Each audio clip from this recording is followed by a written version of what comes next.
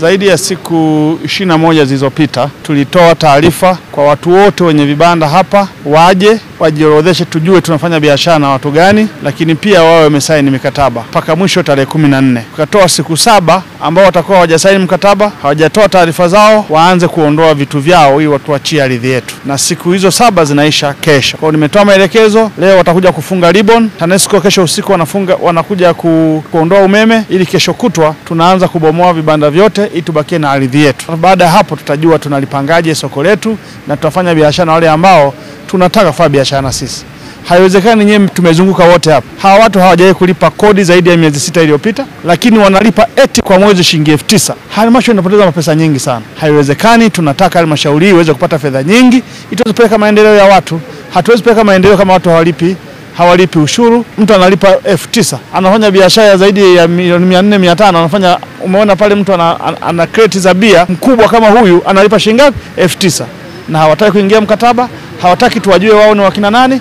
Kwa, sababu ardhi ni halmashauri, tumeamua tuchukue ardhi yetu, wao waondoke na mali zao. Hakuna namna ukaidi. Ndio maana nimesema mwisho ni kesho jioni, tunaondoa umeme, tunaleta buldoza, tutabomoa. Baada ya hapo, wanataka biashara na sisi, waje tufanye nao biashara kwa makubaliano ili halmashauri ipate na wao wapate. Uh, ni kweli kuna hili swala la vibanda la wabia wa vibanda ambao wamejenga vibanda vyao katika eneo la halmashauri ya mji Mafinga, lakini kwa muda mrefu sasa, kwa miaka mingi sasa, tumekuwa tuki halmashauri imekuwa ikikaa na wafanyabiashara hawa kuweka modality nzuri ya namna ya kulipa, ili mwisho wa siku basi vibanda hivi viweze kurudi kwa halmashauri, halmashauri iweze kufanya maendeleo. Lakini uh, kumekuwa na kidogo ugumu kwa wafanyabiashara hawa kujitokeza kusaini mikataba pamoja na jitihada kubwa ambazo zimekuwa zikifanya na halmashauri, na jambo lilifika ofisi ya DC na sisi kwa ofisi kwa, kwa upande wetu tulizungumza nao, lakini ilionekana ugumu wa kuchukua maamuzi bado ulikuwepo.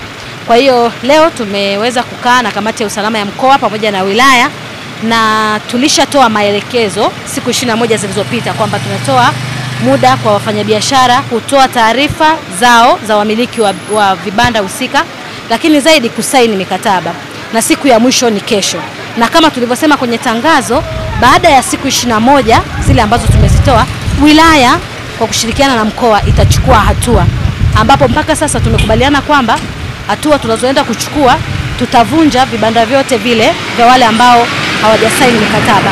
Kwa hiyo vitavunjwa, alafu tutatangaza tenda kwa watu wengine ambao watataka kujenga, kwa sababu ule muda unaisha kesho, na kwa sababu unaisha kesho, baada ya hapo tumeamua kwamba tuweze kuvunja. Kwa hiyo leo tumetoa maelekezo wafunge ribbon maeneo yote yanayohusika.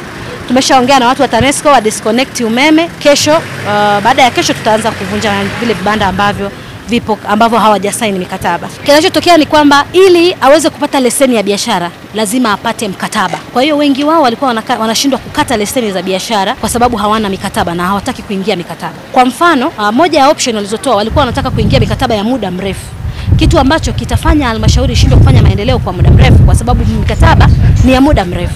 Kwa hiyo kule kukosekana kwa ile mikataba kunawasababisha wao kukosa leseni. Matokeo yake halmashauri inapoteza mapato kwa kutumia njia hiyo, lakini pia kwa sababu ule, wa ule mkataba wa ulipaji sasa wa zile gharama, ina maana kwa muda huu kuanzia Julai walisitisha hata kutoa na zile ambazo walikuwa wanachangia kwenye halmashauri.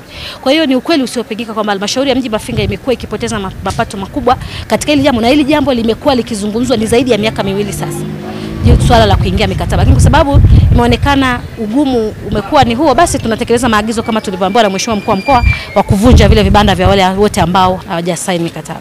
Kwa jina naitwa Evans Mtikile, ni mkuu wa idara ya viwanda, biashara na uwekezaji katika halmashauri ya mji wa Mafinga. Uh, kumekuwa na mgogoro kati ya halmashauri na baadhi ya wafanyabiashara wa vibanda kama 331 vilivyojengwa kwenye ardhi ambayo ni mali ya halmashauri. Kiini kikubwa cha mgogoro, wafanyabiashara ni kweli wamejenga na halmashauri inatambua kwamba wamejenga, lakini vibanda hivi vimetumika kwa muda kwa muda mrefu sasa, na mgogoro ambao unaingia saizi kati yake na halmashauri ni pale ambapo halmashauri sasa inataka kuingia mikataba mipya ambayo iko rafiki zaidi, ambayo itaongeza mapato kwa halmashauri, lakini pia itakuwa ina lengo pia la kumsaidia mfanyabiashara. Sasa kikubwa wafanyabiashara wenyewe hawataki kuingia kwenye ile mkataba wa makubaliano dhidi ya yao na halmashauri, na ambao sasa inapelekea halmashauri pia na yenyewe inakosa mapato, na toka mgogoro umeanza hadi sasa ni kuanzia mwezi Julai mwaka 2023 hadi sasa hakuna ambacho kimekusanywa hadi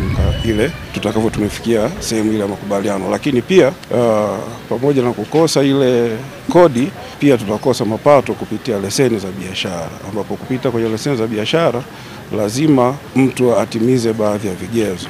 Kwenye leseni za biashara tunataka mtu awe na TIN namba, awe na NIDA, lakini awe na mkataba wa pango. Sasa kukosa mkataba wa pango, pia halmashauri haiwezi kukusanya leseni za biashara. Kwa mapato ambayo yanapungua ni zaidi ya milioni kumi na mbili kwa mwezi, kwa mwezi zaidi ya milioni kumi na mbili. Vibanda ni mia tatu thelathini na moja mia tatu na thelathini na moja ndiyo ndio inayotakiwa. Sisi kama halmashauri tunatoa rai watu waingie kwenye makubaliano, tuweze kusaini mikataba, tuendelee tuna kazi kama kawaida, halmashauri ipate, lakini na wao wapate.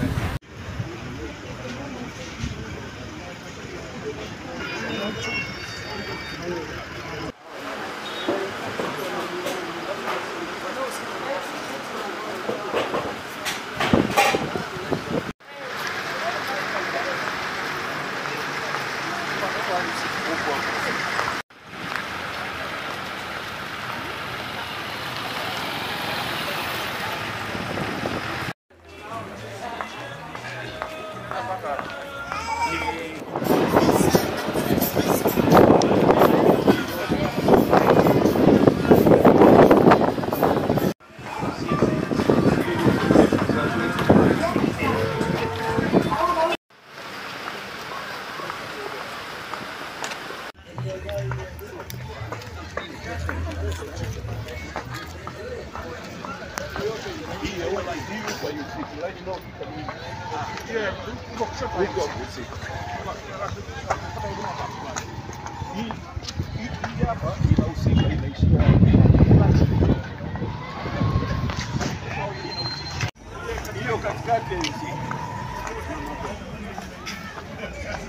Hii yote inahusika.